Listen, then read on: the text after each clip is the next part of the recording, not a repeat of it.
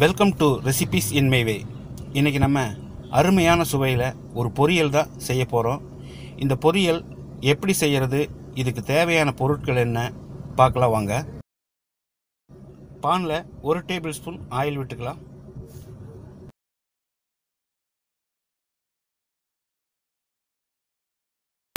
Oil காஞ்சிருச்சு. அரை spoon கடுகு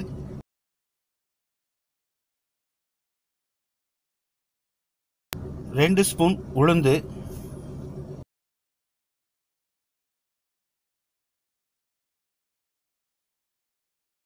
மூணு பச்சை மிளகாய் பொடியாக நறுக்கினது. கொஞ்சமாக கருவேப்பிலை.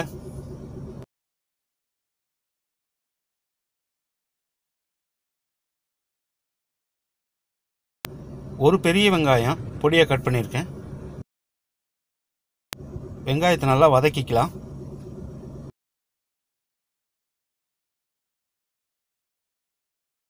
வெங்காயம் நல்லா வதங்கிடுச்சு பொடியை நறுக்கின முட்டைக்கோஸ் ரெண்டு கப் ஒரு கப் கேரட் அரை கப் பீன்ஸ் இந்த மூணையும் கொஞ்சமாக தண்ணியில் கால் ஸ்பூன் மஞ்சள் கலந்து கூடவே ஒரு அரை ஸ்பூன் உப்பும் சேர்த்து ஒரு அஞ்சு நிமிஷம் வேக வச்சு எடுத்து வச்சுருந்தேன்.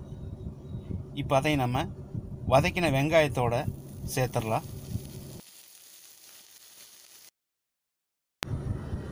இது நல்லா கலந்து விட்டுட்டோம்.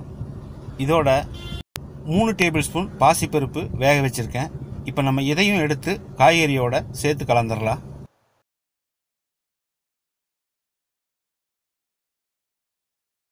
ஏற்கனவே உப்பு சேர்த்துருக்கோம். தேவைக்கு தகுந்த மாதிரி இப்போ அளவாக போட்டுக்கலாம்.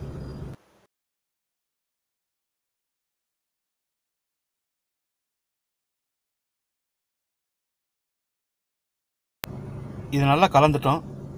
இது ஒரு ஏழு எட்டு நிமிஷம் மூடி வச்சிடலாம்.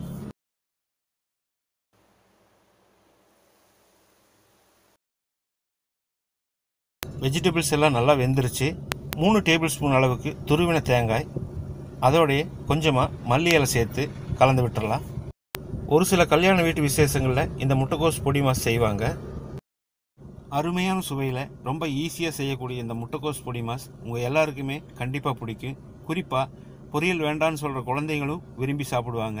இதே மாதிரி இதே அளவுகளோட நீங்கள் செய்து பாருங்கள் இந்த வீடியோ பிடிச்சிருந்தா லைக் பண்ணுங்கள் கமெண்ட் பண்ணுங்கள் சப்ஸ்கிரைப் பண்ணுங்கள் மறக்காமல் ஷேர் பண்ணுங்கள்